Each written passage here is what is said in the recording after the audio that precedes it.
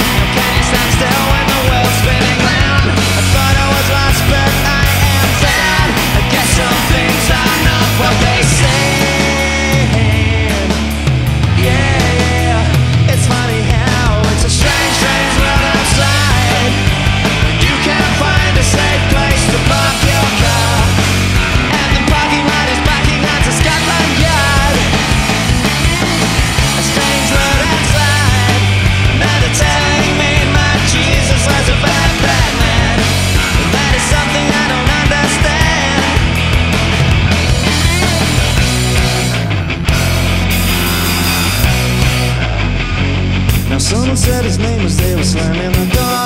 There's something creepy going on I can't ignore. If Jesus was a bad man, what did he die for? I guess some things are not what they say.